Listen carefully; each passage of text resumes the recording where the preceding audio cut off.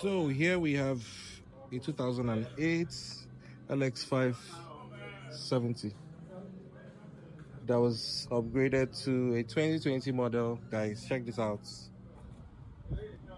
See how neat this work day. Shocky Abby. Let me take you guys around first. Show you the back. See the back.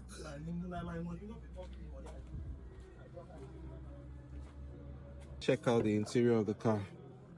So we've not done anything on the dashboard except changing the steering wheel and refolding the chairs. You can see everything is spick and span. Did you not say anything about this car? Now let me show you. This car is actually bulletproof. So this was a whole lot of work. We put in a whole lot of work to get this done. The car heavy die. So is another good reason to bring your old cars.